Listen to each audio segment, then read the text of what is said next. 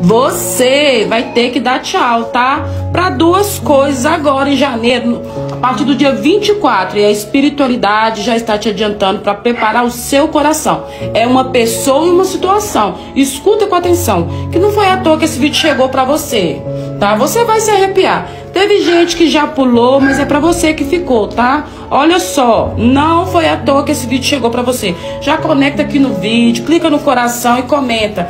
Gratidão, universo, eu recebo, tá?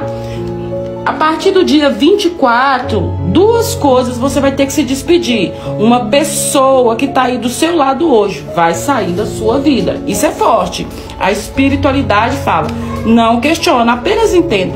Uma situação, eu vejo que você primeiro já conecta aqui, coloca aqui para mim de onde você está me assistindo. Para mim é muito importante que você receba essa mensagem da espiritualidade para a sua vida. Fica comigo até o final, não ignore. Olha só, gente, aqui fala assim, tá falando com você nesse momento como poucas vezes falou no seu coração.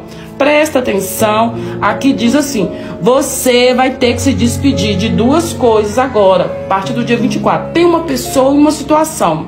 A pessoa que eu vejo é a pessoa que teve um desvio de conduta ao longo do tempo. Essa pessoa, quando aproximou de você, ela tinha boa intenção, né? Só que o tempo passou e a pessoa se perdeu se perdeu aí na vaidade, nos próprios desejos, e isso fez com que ela fosse reprovada aí pela espiritualidade. A ação vai acontecer, essa situação é uma mudança. Você vai ter que dar tchau para onde você está morando, para a rua, para casa.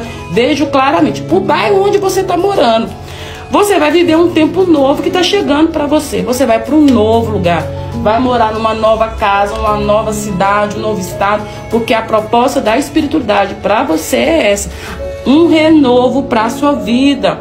Teve gente que pulou, mas você que ficou já recebe com gratidão, porque vai acontecer, tá? A partir do dia 24, receba com gratidão.